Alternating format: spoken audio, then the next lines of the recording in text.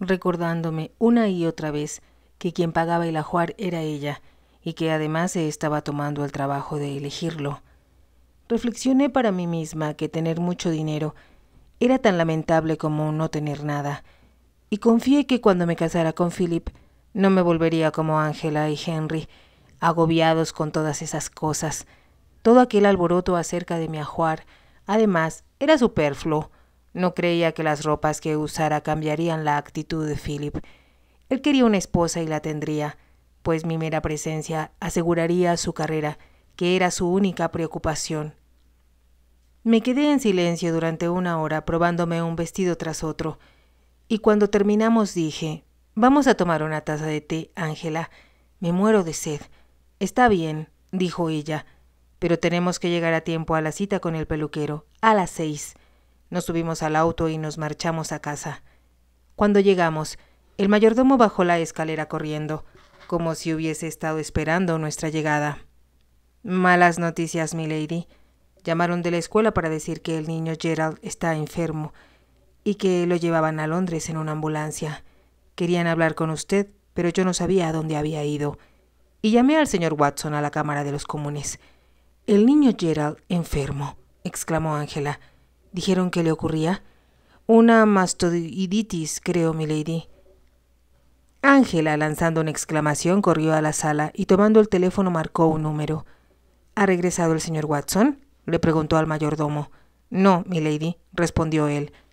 Pero creo que dijo que vendría apenas lograra telefonear a la escuela. Ángela miró el reloj. ¿Por qué no habrá vuelto Henry? me preguntó. No puede tardar ya, respondí con suavidad.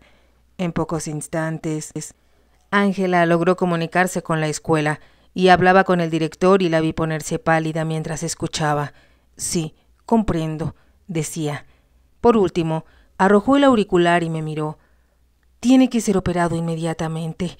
Oh, Lynn, es horrible. La abracé. Querida, qué desgracia, exclamé. No es fuerte. Siempre ha sido el más débil de los dos, dijo Ángela poniéndose de pie y mirando el reloj. ¿Por qué no viene Henry? Mientras ella hablaba, oí que había alguien en el pasillo y anunciaron a Douglas Ormond. Hola, dijo él con voz alegre. Aquella fue la primera vez que Ángela no se mostró complacida al verlo. Creí que era Henry, dijo irritada. ¿Qué pasa? Gerald está enfermo. Lo llevaron a Londres, dijo bruscamente. Lo siento. ¿Puedo ayudar en algo? No seas tonto. ¿Qué puedes hacer? le espetó Ángela. Fue tan tajante que sentí pena por él. No había nada más que decir. Nos quedamos en silencio hasta que oímos que un taxi se detenía ante la puerta y miramos por la ventana. Henry había llegado. Ángela corrió a través de la habitación, abrió la puerta y lo recibió en el pasillo. Henry, exclamó, sujetándolo por el brazo. Aquella fue la primera expresión de intimidad que había tenido con él desde mi llegada. Tranquilízate, querida mía, dijo él cariñosamente. Ya he arreglado todo. Sir Howard Blake lo operará apenas llegue. Estará en el hospital Pembroke y nosotros iremos allá enseguida. ¿Se curará? preguntó Ángela con la voz quebrada y casi al borde de las lágrimas. Por supuesto que sí, contestó Henry tranquilizándola. No te preocupes. Y vamos ya. El niño querrá verte. Y no quería molestar, pero Henry añadió al verme. Ven tú también, Lynn. Ángela va a necesitarte. Ignoró totalmente a Douglas como si éste no estuviese allí, y creo que también Ángela había olvidado su existencia. Gerald todavía no había sido transportado al hospital cuando llegamos, pero nos recibió la enfermera, quien nos condujo a una sala de espera. Demorará unos veinte minutos más, nos explicó mirando el reloj que llevaba colgando de una cadena. ¿Quieren ver su habitación? Sí, por favor, asintió Ángela. Subimos a una habitación pequeña, pero alegre, y Ángela le pidió a la enfermera que le trajera otro biombo y a Henry que telefoneara a Moises Stevens para que enviara algunas flores. Al cabo de un rato volvimos a la sala de espera y nos sentamos en unas sillas que rodeaban una mesa oval atiborrada de revistas. Están demorando mucho, comentó Ángela, ansiosa. Son treinta y cinco kilómetros y no pueden ir muy rápido, contestó Henry. Comprendo. murmuró Ángela con una expresión dolorosa en el rostro. Por fin, después de una espera angustiosa, la enfermera nos anunció que la ambulancia había llegado, pero que debíamos esperar hasta que subieran a Gerald a su habitación. Por la puerta entreabierta, vimos una camilla y un cuerpo pequeño cubierto por una sábana. Hay algo patético en una camilla. Sentí ganas de llorar y Ángela tomó la mano de Henry. Él no dijo nada, pero le apretó los dedos con ternura. Después de largos minutos, nos comunicaron que Sir Howard Blake operaría inmediatamente al niño y que sus padres podían subir por breves momentos. Yo me quedé sola un rato, tratando inútilmente de mirar las revistas, hasta que por fin se abrió la puerta y entraron Henry y Ángela. Ángela, abrazada de Henry, lloraba inconsolable y ya no intentaba controlarse. Se dejó caer en una silla y ocultó el rostro entre las manos. Todo saldrá bien, mi amor, te lo prometo, decía Henry. Sir Howard es el mejor cirujano de Londres. Yo no sabía qué hacer y, de pronto, él me miró. Trae agua, pidió. Salí corriendo al pasillo y encontré a una empleada cerca de la puerta de entrada. Por favor, necesito un poco de agua para beber. Ella buscó una jarra y un vaso, y volví junto a Ángela. Henry estaba sentado a su lado, consolándola, y le dijo Trata de beber un poco de agua, te hará bien. Ella tomó solo unos sorbos. Siento ser tan tonta, dijo con voz ahogada. Pero si le pasa algo al niño. Henry, no me lo perdonaré nunca. He descuidado tanto a los chicos últimamente. Creo que esto que ha ocurrido es un castigo. Tonterías, la tranquilizó Henry, pero advertí que también él estaba conmovido y que hablaba con voz ronca. Al advertir que la desesperación de Ángela iba en aumento, añadió Si sigues así, y él pregunta por ti, no podrás verlo. Aquellas palabras lograron calmar a Ángela. Después de un momento, se enderezó en la silla se sonó la nariz y buscó su bolso. Aquí está, le dije, extendiéndoselo. Gracias, Lynn, me respondió. Abrió el bolso y mirándose en un pequeño espejo se empolvó la nariz. ¿Cuánto tiempo más tendremos que esperar? preguntó después. No seas impaciente, repuso Henry, mirando el reloj. El médico no debe apresurarse. Los tres nos pusimos de pie instintivamente cuando aparecieron el doctor y la enfermera. Todo marcha espléndidamente, declaró el médico con voz calmada. Sir Howard se tardará por lo menos quince minutos más, pero hasta ahora no hay complicaciones. Gracias a Dios, exclamó Ángela, y se desmayó. Henry la sostuvo mientras caía. Luego la levantó y la puso en una silla con los pies sobre un banco, mientras la enfermera traía sales y alcohol. Después de dos o tres minutos volvió en sí pero se le veía pálida y frágil, y Henry la sostuvo de la mano. Creo que nunca quise a Henry como entonces. Fue extraordinariamente dulce y tierno con Ángela, y tuvo la actitud justa para aquel momento. Pensé que su matrimonio sería mucho más llevadero si siempre se comportara así. Ángela también pareció tenerlo en cuenta. Porque más de una vez dijo Gracias, Henry, y le sonrió con una sonrisa trémula. El reloj seguía marcando interminablemente los minutos, hasta que nos dijeron que podíamos subir a ver a Gerald. Ángela fue la primera en correr hasta el segundo piso y nosotros la seguimos. Cuando entramos en la habitación, vimos que las persianas estaban semicerradas y percibimos un fuerte olor a éter. Gerald estaba acostado con la cabeza vendada y emitía un ronquirito como suele ocurrirle a quienes están bajo los efectos de la anestesia. Parecía muy pequeño y desamparado, y por primera vez comprendí el amor protector que siente una madre hacia su hijo. Tal vez la mayor agonía para una mujer es que algo le ocurra a su pequeño. Supe que no había amor más poderoso que aquel, y que era el único que podía desafiar la destrucción, la guerra, la agresión y la crueldad del ser humano. Ángela miró a Gerald unos segundos, luego se inclinó y le besó la mano. Creo que Henry temía que se desmayara otra vez o que estallara en lágrimas, pero estaba espléndida. Se alejó de la cama y salió de la habitación con valentía. No volverá en sí hasta dentro de dos o tres horas, nos explicó la enfermera. Si quieren volver alrededor de las nueve, creo que él querrá verlos. Gracias, murmuró Ángela. Gracias por su amabilidad. No tiene que agradecerme nada, dijo la enfermera. Estas operaciones repentinas siempre causan una conmoción, ¿verdad? Comprendo cómo se siente. Será mejor que siga mi consejo. Vaya a su casa y acuéstese. Lo haré, respondió Ángela. Usted nos llamará por teléfono, sí, dijo Henry. No tuvo necesidad de terminar la frase. Por supuesto, señor Watson, respondió la enfermera. Pero no tienen por qué preocuparse. Hay un médico en el edificio y Sir Howard vendrá a ver a Gerald más tarde. Volvimos a casa en silencio. Ángela parecía extenuada y, cuando llegamos, Douglas estaba esperándonos. ¿Todo bien? preguntó ansiosamente, pero Ángela no tenía nada que decirle. Fue Henry quien le respondió Todo bien, gracias, mientras escoltaba a Ángela hasta el elevador.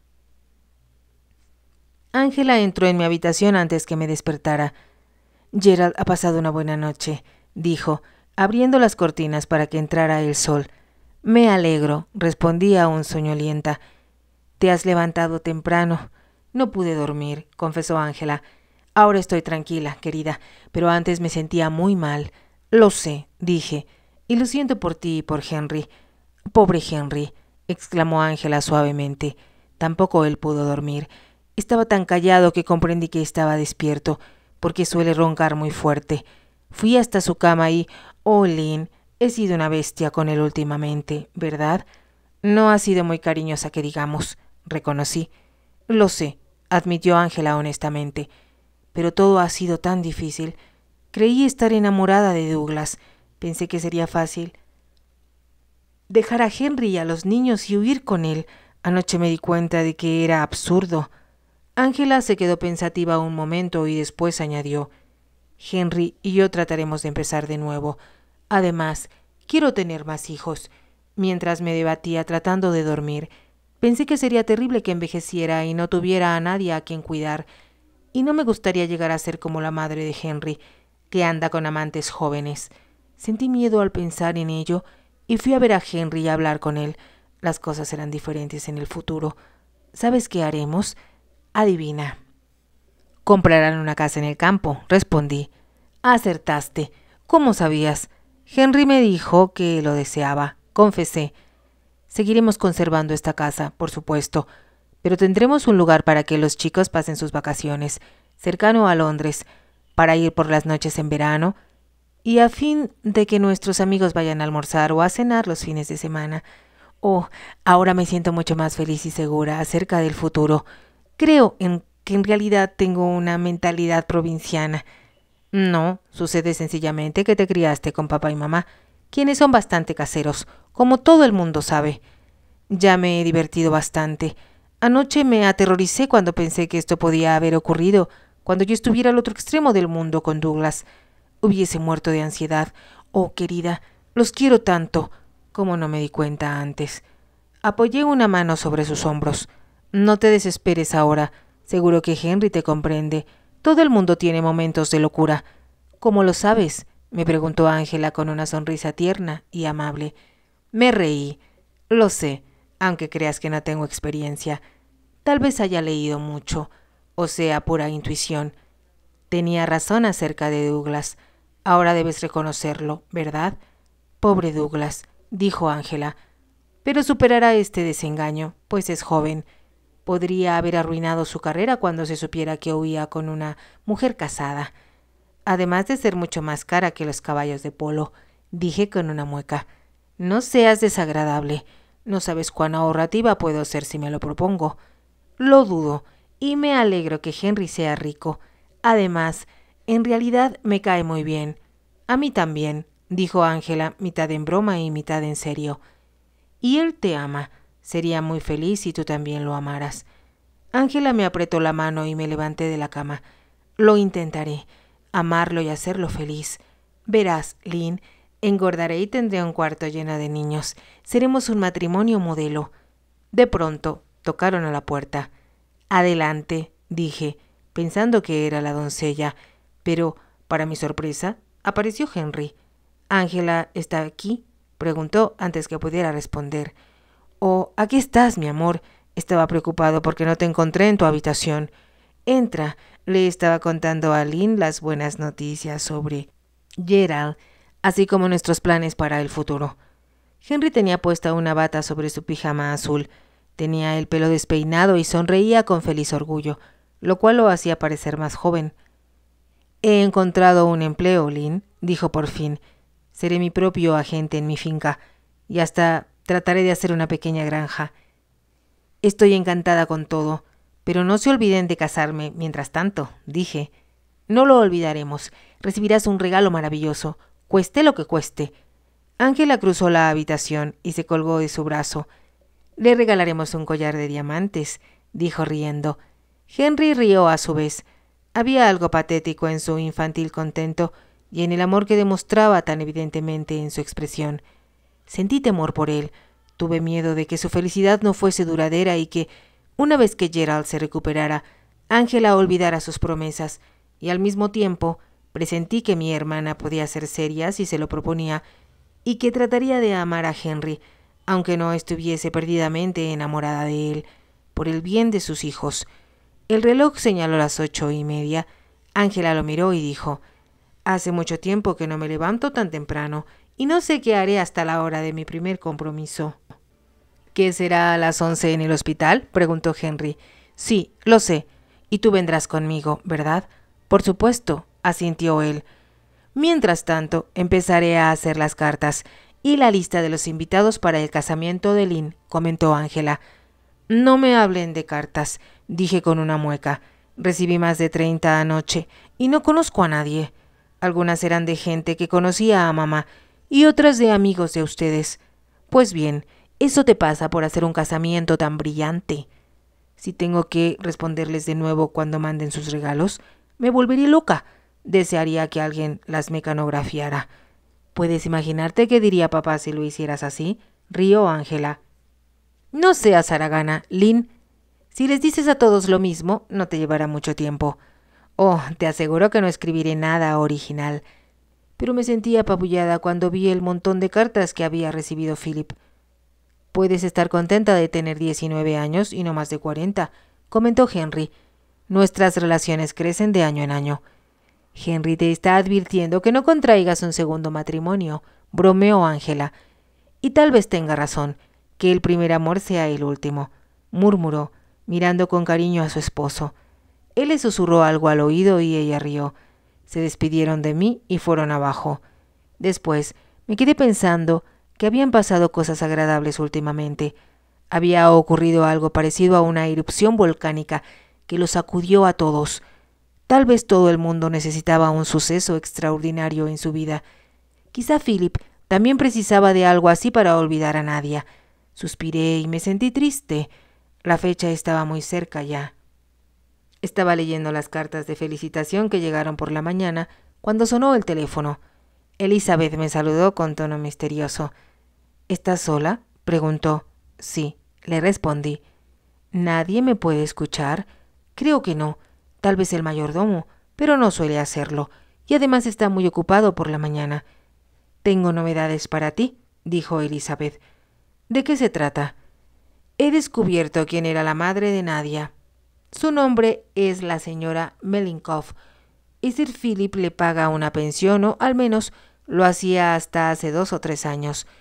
No pude descubrir dónde vive, pero creo que ella también trabajaba en el teatro en una época. Oh, Elizabeth, qué astuta eres, dije. ¿Cómo te enteraste? Por mamá, y en parte por mi tío, que vino a cenar anoche. Me las arreglé para hablar de Philip, y hubiese deseado saber más cosas, pero no fue posible. Eres un encanto, le dije con firmeza. Gracias mil veces por las molestias que te tomaste. ¿Qué has estado haciendo? Ayer fui al club. Fue muy interesante, respondió Elizabeth. Me alegro, le contesté y le conté lo que había pasado con Gerald, pero ahora está fuera de peligro, añadí, y en cuanto a mí, no sé qué haré en los próximos dos o tres días, pero apenas todo vuelva a la normalidad, tenemos que vernos. Mientras tanto, seguiré mi labor de espionaje, y te llamaré si averiguo algo, prometió Elizabeth. Me puse a buscar en la guía telefónica, pero no encontré a nadie de apellido Melinkov. Volví a guardar la guía y de pronto se me ocurrió una idea. La semana pasada, cuando Philip y yo estábamos almorzando en el Ritz con un pariente suyo, se había acercado un anciano a nosotros. Debe permitirme que lo felicite, Sir Philip, dijo. Tenía un rostro arrugado y simpático, el pelo blanco, y llevaba un clavel en el ojal. Oh, señor Grossman, exclamó Philip. Hacía años que no lo veía. ¿Cómo está usted? Muy bien, gracias, replicó él, pero no tan joven como antes. Philip se volvió hacia mí. Lynn, este es el señor Israel Grossman, la persona más importante del mundo teatral, y cuya posición nunca se ha visto amenazada por nadie. Oh, yo no diría tanto, había respondido el señor Grossman, evidentemente orgulloso al escuchar aquellas palabras. Mucho gusto en conocerla, señorita. Tiene usted suerte. Sir Philip es una persona excelente. Hablamos un rato y luego él se despidió. ¿Quién es? pregunté. Israel Grossman. Es el agente teatral más importante de toda Inglaterra, dijo Philip, relacionado con todas las grandes estrellas. Lo conocí en 1918 y estaba igual que ahora. En aquella época pensábamos que era un viejo. Cuando se muera, Londres habrá perdido a uno de sus personajes. Siempre está en el Theatrical Garden. No había vuelto a pensar en Israel Grossman hasta este momento, pero al recordar aquella conversación me dije que, sin duda, él había sido el agente de Nadia y que existía una oportunidad muy remota de que a través de él pudiera conseguir la dirección de la madre de aquella. Busqué su dirección en la guía de teléfonos y, al encontrarla, marqué el número. Cuando una voz contestó Hola, sentí pánico, pero luego me oí a mí misma decir con voz pausada Quisiera hablar con la secretaria privada del señor Grossman. No sé si está, respondió alguien. Su nombre, por favor. Por un momento vacilé, pero después dije La señorita Macefield.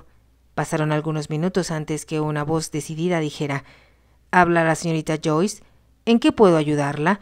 Siento molestarla, pero me pregunto si tendría la gentileza de proporcionarme una dirección que necesito.